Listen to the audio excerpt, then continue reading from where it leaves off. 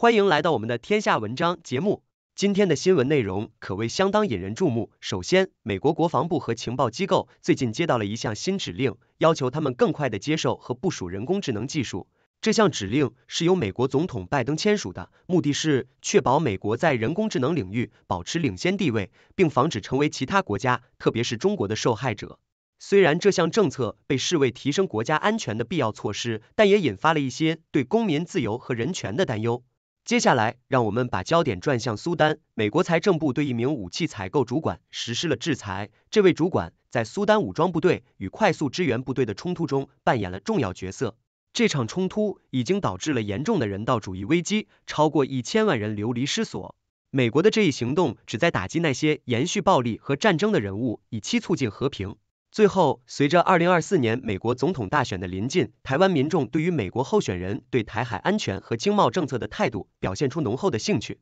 根据一项民调，近一半的台湾人关心此次选举，并且大多数人支持美国对台军事援助。无论是特朗普的强硬经济政策，还是哈里斯的外交合作策略，台湾人民都在密切关注这场选举对未来的影响。请大家继续收看详细内容。美军和情报机构被要求拥抱人工智能。美国之音中文网，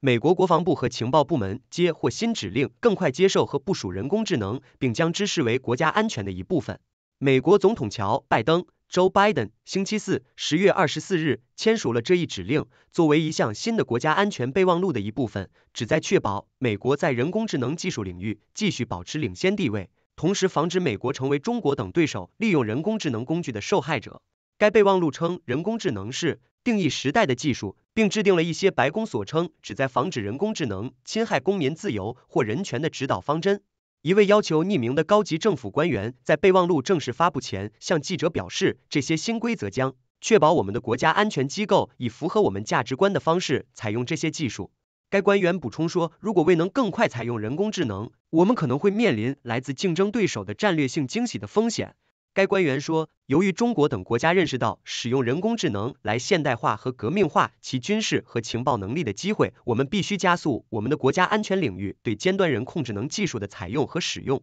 然而，一些公民自由倡导者对新指导方针缺乏保障措施表示担忧。美国公民自由联盟 （ACLU） 的帕特里克·图米 （Patrick Toomey） 在一份声明中表示。尽管承认了人工智能的重大风险，但这项政策远未足够保护我们免受危险且不受监管的人工智能系统的侵害。ACLU 国家安全项目的副主任图米说：“随着国家安全机构让越来越多的人使用强大的新技术，不应让他们自我监管。这些新指导方针建立在去年发布的行政命令基础上。该命令要求所有美国政府机构制定使用人工智能的政策。”这些规范还寻求解决可能阻碍华盛顿更快将人工智能融入国家安全系统的问题。备忘录中概述的条款要求采取一系列行动，以保护生产人工智能系统关键的高级计算机芯片供应链，并采取更多行动打击经济间谍活动，以防止美国对手或非美国公司窃取重要创新成果。白宫国家安全顾问杰克·沙利文 （Jake Sullivan） 星期四在华盛顿国防大学对观众表示。我们必须做对这件事，因为未来可能没有其他技术比这对我们的国家安全更为重要。他说，强调形势非常紧迫，如果我们不更有意识地利用我们的优势，如果我们不更快、更全面地部署人工智能以加强国家安全，我们可能会浪费我们来之不易的领先地位。他补充道，我们可能拥有最好的团队，但如果不让他上场，我们也会输掉比赛。尽管该备忘录优先实行以人工智能技术来确保美国利益，却也同时指示美国官员要与盟友和其他国家合作，为全球使用人工智能技术建立一套稳定的框架。沙利文提到与七国集团的持续谈判，以及联合国关于人工智能的决议时说，这份国家安全备忘录的一个重要部分是实际上制定一些基本原则。他说，我们需要确保世界各地的人们能够抓住人工智能的好处，并减少其风险。塞尔丁。Jeff Seldon 是美国之音 VOA 国家安全事务记者，自从2015年以来，一直报道国家安全、情报、反恐和网络领域等新闻。之前，他曾任驻五角大楼记者。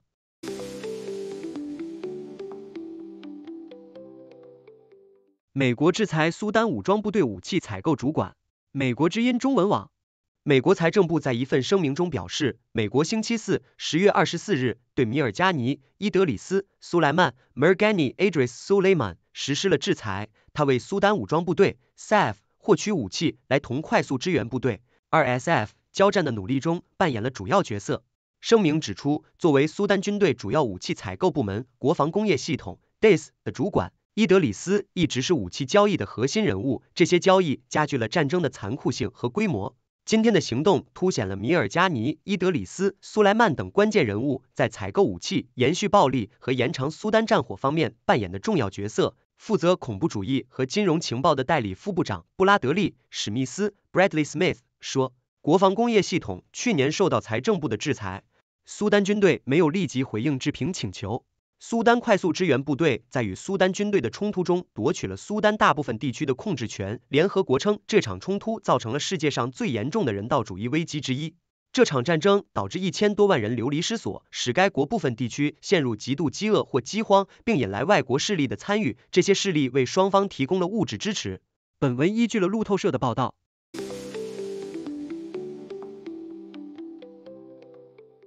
台湾关注二零二四美国大选，台海经贸政策是焦点。美国之音中文网，随着二零二四年美国总统大选进入倒计时，一份民调显示，有近半数的台湾人关注此次选举，且有高达百分之六十七的受访者支持美国对台提供军事援助。美国两党候选人对台海安全局势和经贸政策的态度，吸引了台湾各界的广泛关注。近半数台湾人关注美国选举。台湾民意基金会在十月二十二日发布的一份最新民调显示，在年满二十岁的受访者中，有百分之四十三点九的人表示关心，其中更有百分之六点五非常关心关心美国选举结果。回答不关心的人则占百分之四十九点七。进一步分析显示，年纪越轻、受教育程度越高者，对美国大选的关心程度越高。这项民调同时询问了台湾民众对于美国总统拜登于九月二十九日批准对台湾提供五点六七亿美元军援的看法，结果百分之六十七的人乐见美国对台军事援助，回答不乐见者则有百分之十九。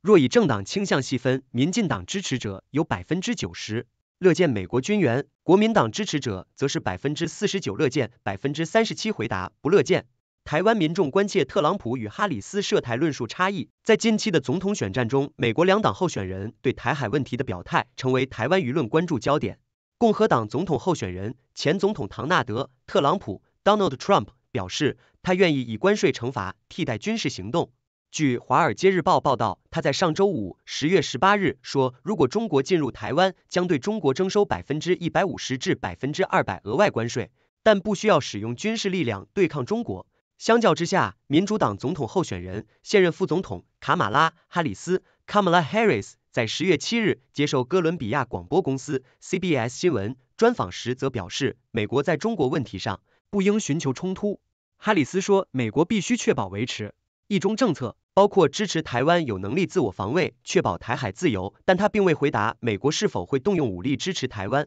台湾学者解析两党候选人对台政策路线。在台北的政治大学台湾安全研究中心副主任胡瑞洲表示，台湾在美中角力扮演着最关键且最具危险性的角色。尽管特朗普和哈里斯都支持利用台湾遏制中国崛起，但他们的方式有所不同。特朗普的做法更偏向商谈交易，通过经济手段获取美国的利益，而哈里斯则会更注重与盟友合作，以强化遏制中国的策略。胡瑞洲认为，若哈里斯当选，他会延续拜登外交路线，但恐怕不会像拜登一样承诺出兵保台。在他看来，相比本月的围台军演，解放军在九月二十五日是射洲际弹道导弹，更已敲响美国对于爆发核战争的警钟。胡瑞洲告诉美国之音。川普在美中台关系里面遏制中国跟贺锦丽、哈里斯是一致的，但是他在经贸方面还有透过谈判交易来获得美国的利益。民主党有更细致的一个运作，拉帮结派，透过很多的跟盟友之间合作关系来强化他遏制中国崛起的这个目的。川普的话比较不重视盟国的关系，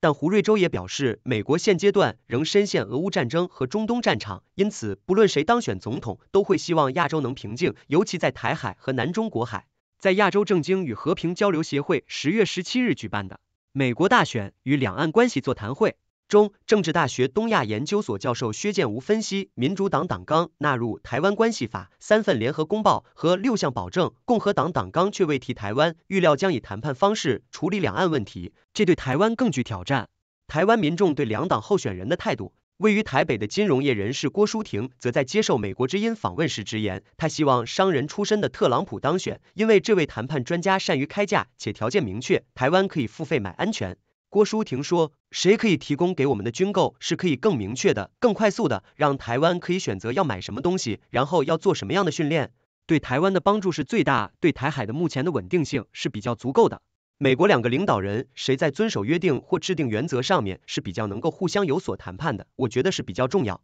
郭书婷认为，特朗普同时也利用课征关税作为经贸筹码的下阻中国。他形容特朗普把美国当成企业经营，要竞争成为第一名，在开价卖东西给中国的同时，也会抑制中国超越美国。相比之下，哈里斯像是承诺卖服务却一直不开价的人。此外，他担心哈里斯在应对美国国内问题上表现不足，恐会导致美国衰退，从而无法兼顾台海问题。但位于台北的台湾大学学生王同学则认为，若哈里斯当选且延续拜登路线，会让他对台海局势较有安全感。王同学说，如果中国打过来的话，拜登承诺他们会派兵协防；特朗普的话则是说，如果中国打过来的话，会加增关税百分之二百，拜登力度比较大一点，所以我认为这样比较安全。台湾民众关切美选经贸论战，除了安全议题，两党候选人的经贸政策也受到台湾民众的高度关注。特朗普提出对多数进口产品征收百分之十至百分之二十的关税，计划对中国征收百分之六十以上的关税，推动美中脱钩。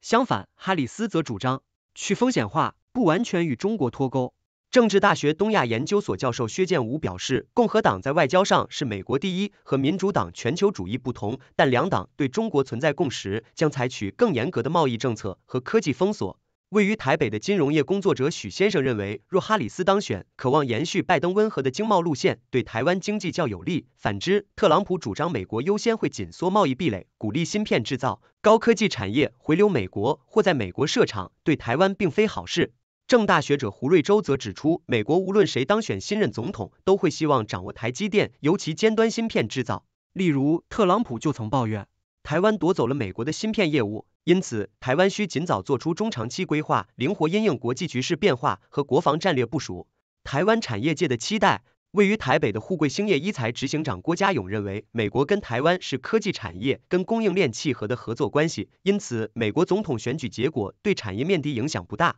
郭家勇表示，处在两强夹缝的台湾，在半导体领域掌握定价权，和美国的有岸外包同盟。关系也更紧密。特朗普即便对全球提高征税，对台湾课税几率仍低，因为美国离不开台湾供应链。郭家勇直言，中美存有竞争关系，经贸脱钩促使美国品牌或通路避开中国制造，让台湾受惠于转单效应。郭家勇告诉美国之音，美国过去可能会用中国大陆供应链，现在因为脱钩的问题，台湾供应链完整，台湾是最适合的。做设计代工也会碰到中国大陆的公司，也希望把他们的产品变成是台湾制造，然后供美国。台湾制造对台湾是一个机会。郭家勇认为，不管谁当选总统，都不易改变美国以国家利益定调的政策，如同过去美国会用国家力量扶持合作对象，包含日本、韩国、台湾和中国的经济高速成长，都得利于美国国家政策引导。美国之音特约记者李新如对本文亦有贡献。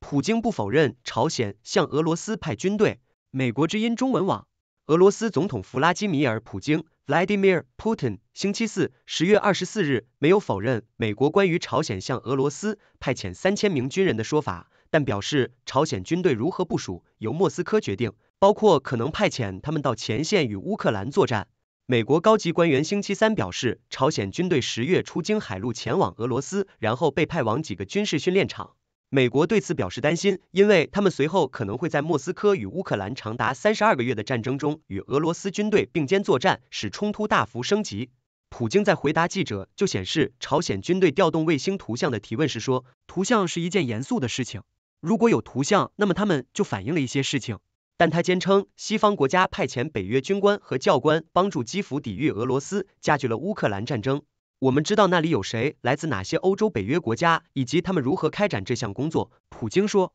这位克里姆林宫领导人特别提到了俄朝伙伴关系协定中有关共同防御的第四条。有第四条，我们从未怀疑过朝鲜领导层会认真对待我们的协议，但我们在这一条款框架内做什么是我们自己的事。普京说，他说，俄罗斯军队正在乌克兰战线的所有前线地区推进，并在俄罗斯库尔斯克地区围困了大量乌克兰军队。普京发表上述言论之际，俄罗斯议会下院国家杜马批准了他六月访问平壤时与朝鲜领导人金正恩签署的全面战略伙伴关系条约，预计上议院也将很快批准。这项协议要求俄罗斯和朝鲜在一方受到攻击时立即使用一切手段提供军事援助，这标志着莫斯科和平壤之间自冷战结束以来最紧密的联系。美国国防部长劳埃德·奥斯汀 （Lloyd Austin） 星期三告诉记者，朝鲜军人在俄罗斯正在干什么还有待观察。白宫国家安全发言人约翰·科比 （John Kirby） 表示，美国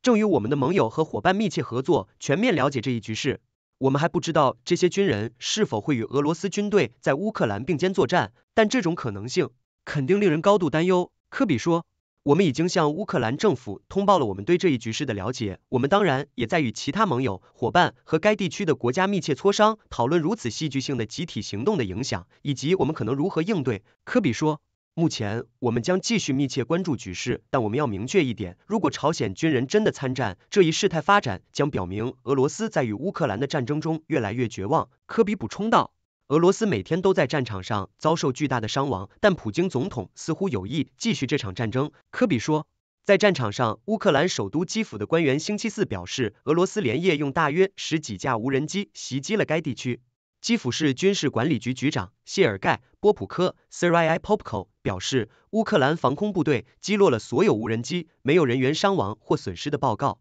在乌克兰南部的尼古拉耶夫地区，州长维塔利·金 （Vitaly Kim） 在 Telegram 上表示，军方击落了三架俄罗斯无人机。俄罗斯国防部星期四表示，他们击毁了七架乌克兰无人机，其中四架在库尔斯克地区，三架在黑海上空。俄罗斯布良斯克地区的官员也报告说，那里连夜有几架无人机被击落。美国之音国家安全记者的杰夫·塞尔丁对本报道亦有贡献。本文部分参考了美联社、法新社和路透社的报道。思想先驱报，成为有洞察力的人。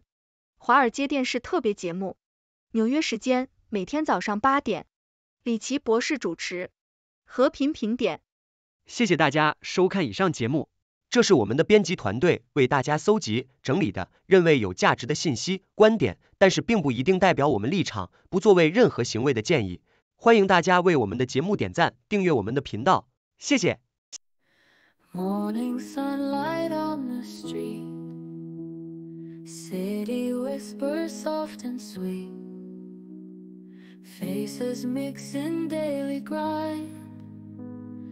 Every story intertwined. Cultures blend like colors bright. Languages in the silent night. On the table, stories told. Food and feast upon so bold. People living day by day. In the heart, they find their way. Sharing moments, voices sing in this world of everything. Society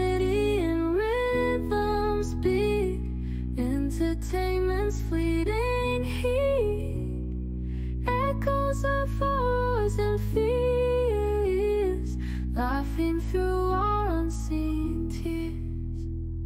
Children playing in the park, drawing dreams till after dark. Elders speak of days gone by, washing shadows from the sky.